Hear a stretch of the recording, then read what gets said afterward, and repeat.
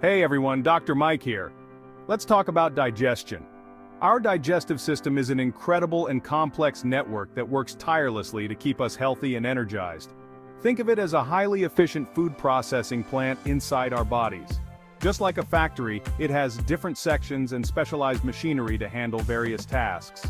It breaks down the food we eat into essential nutrients that our body can use for energy, growth and repair. These nutrients are absorbed into our bloodstream and transported to cells all over the body. This intricate process starts in the mouth, where chewing and saliva begin breaking down food.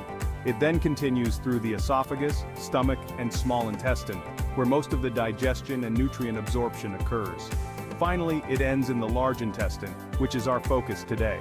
The large intestine plays a crucial role in this process. It absorbs water and salts from the material that has not been digested as food, and is responsible for forming and expelling waste from the body. You might even call it the unsung hero of digestion.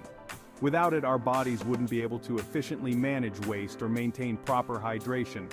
It might not get as much attention as the stomach or small intestine but trust me, it's just as important.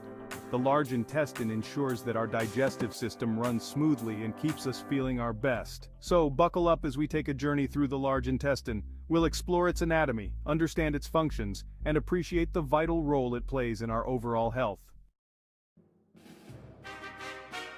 Now let's locate the large intestine. Imagine a giant inverted U sitting in your lower abdomen. That's pretty much where your large intestine is. It's wider and shorter than the small intestine, measuring about 5 feet long. Don't let the name fool you though. The large intestine is called large because of its width, not its length. It's actually much shorter than the small intestine, which can be twice as long.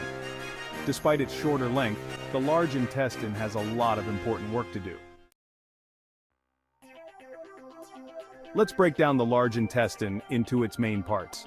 First up we have the cecum, a pouch-like structure where the small intestine connects to the large intestine.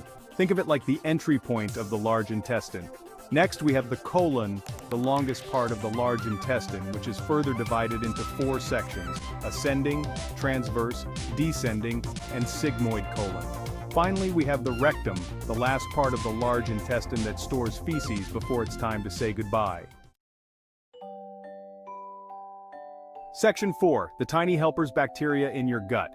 Here's a fun fact. Your large intestine is home to trillions of bacteria. These microorganisms are so numerous that they outnumber the cells in your body by about 10 to 1. Don't worry though, these bacteria are the good guys. They are crucial for maintaining a healthy digestive system and overall well-being. They play a vital role in digestion by breaking down any remaining food particles that the small intestine couldn't handle. This process helps in extracting essential nutrients that our bodies need. These bacteria, often called gut flora, are essential for our health. They create a balanced environment in our intestines which is crucial for preventing harmful bacteria from taking over. They help produce certain vitamins, such as vitamin K and some B vitamins, strengthen our immune system, and even influence our mood and mental health by producing neurotransmitters like serotonin. So next time you think about bacteria remember that not all of them are bad. In fact many of them are indispensable for our survival and well-being. Some are actually our tiny little helpers. They work tirelessly to keep us healthy, happy and thriving. Section 5. The large intestines role water, electrolytes and waste. Now, let's talk about the main functions of the large intestine. Remember all that water and electrolytes present in the food we eat? Well, the large intestine's main job is to absorb them back into the bloodstream. As the indigestible food material moves through the large intestine, water is absorbed through the intestinal walls, leaving behind a more solid waste product that we know as feces. This process is crucial for maintaining our body's fluid balance. Section 6. When things go wrong, common large intestine issues.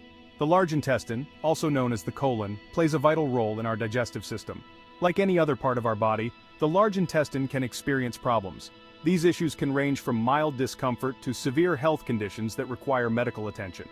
Some common conditions include constipation, diarrhea, irritable bowel syndrome or IBS, and inflammatory bowel disease or IBD. Constipation can cause infrequent bowel movements and hard stools, while diarrhea leads to frequent loose stools. These conditions can be caused by a variety of factors, including poor diet, stress, and infections. A diet low in fiber, high in processed foods, or lacking in essential nutrients can negatively impact the large intestine. If you experience any discomfort or irregularities in your bowel movements, it's essential to consult a healthcare professional. Early diagnosis and treatment can prevent complications and improve your quality of life. Remember, taking care of your digestive health is crucial for your overall well-being. Regular exercise, a balanced diet, and staying hydrated are key to maintaining